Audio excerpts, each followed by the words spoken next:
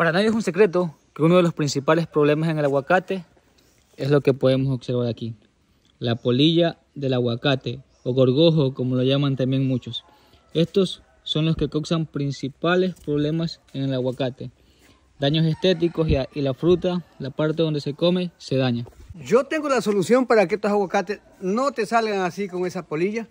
Papá, es pero muy suave. Ese aguacate está negrito. No, es que esto cuando tan negrito es cuando tan maduro. A ver.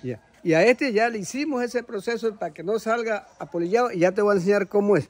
Te voy a mostrar primero cómo, cómo salen. Mira. Este aguacate, tú lo puedes ver, está muy lindo. ¿ves? Ver.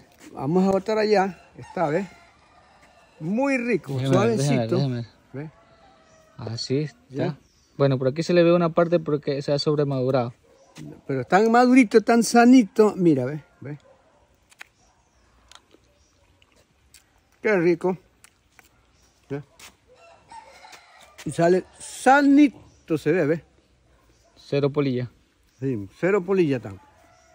Pero ya te vamos a enseñar el secreto para que aplique esta fórmula en tu finca. Vamos. De seguro van a pensar que estamos medio locos. ¿Por qué tenemos esta botella aquí, en el árbol de aguacate? Bueno, aquí adentro tenemos lo que es melaza mezclado con jugo de piña. Jugo, de piña que se esté pudriendo. Entonces aquí tenemos unos agujeritos y esta parte que está aquí amarilla es para que los insectos se atraigan por el color. Aparte del olor, entonces los insectos llegan aquí, se meten y ya no pueden salir.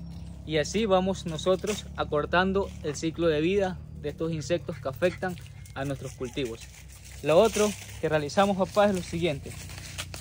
Estas pepitas que están en el suelo, dentro de aquí hay algunos insectos. Entonces lo que hacemos, simple, lo dejamos puesto aquí en un recipiente con agua.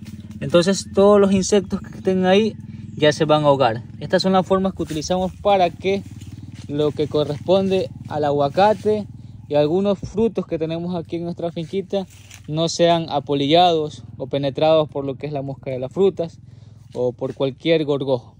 Basta de un día para otro, estos animalitos se ahogan, los que están metidos aquí en esta pepita se ahogan y, amanecen unos arriba ya. Sí, amanecen ahí ahogados.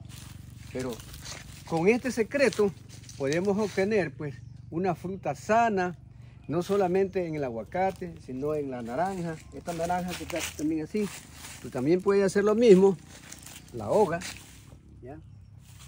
y vas a obtener pues siempre naranja muy buena. También lo puedes hacer con, el mamey, mira.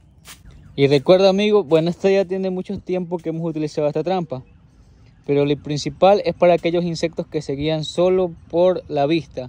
Llegan ellos con estos colores amarillos. Ya está un poco gastado, pero de igual forma la hacemos aquí en nuestra finquita.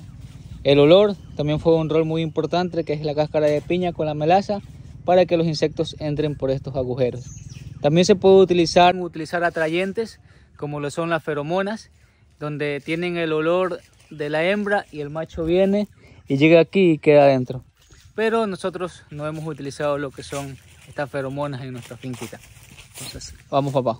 No olvides, amigo, que si tú tienes pues una pequeña finca, haz este trabajo que es fácil y así obtendrás aguacate, naranja, mamey, muy sano, que en el comercio son muy aceptados. Porque siempre cuando salen pues con esos gusanitos, ya la gente no le gusta. Entonces, pues, haz este trabajito que es suave y vas a obtener un resultado muy positivo.